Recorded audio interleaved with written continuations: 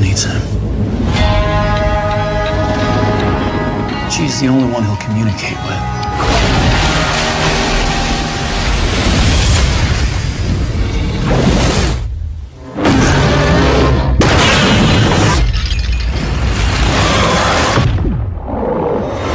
It's. Godzilla